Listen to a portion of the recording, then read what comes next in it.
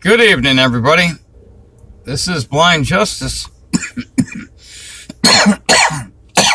and this is your host with the most. So, it figures. hmm Did I lock you in by mistake? You want me to let you out? Okay. Uh, I'll be right back, guys. I locked somebody in here.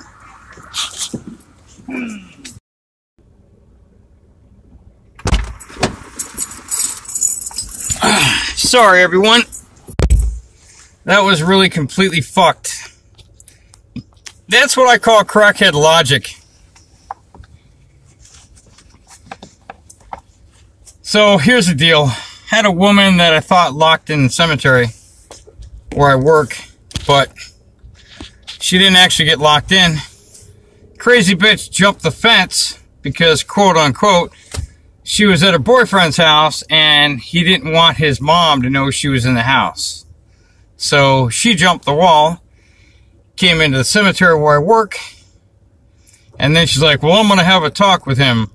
I'm like, But ma'am, I said, You're the one that came into the cemetery where I work, so you're the one that gets trespassed.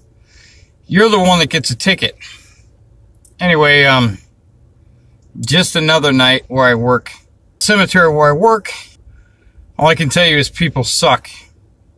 On to the title of my live stream. Can't we all just get along? Apparently we can't.